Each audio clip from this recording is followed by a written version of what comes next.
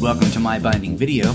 Let's take a look at the MY1628, a desktop electric letter opener by Martin Yale. The MY1628 is your tool to get through that stack as fast as you can. Place your envelopes on the top and press the button. It shoots right through a small slit on the bottom. Slide the contents out with ease and you're all done. When opening one or a whole stack, be sure to tap down the envelopes so that everything falls to one side, and place the other side back end toward the blade. Press the button, run them all through. There it is.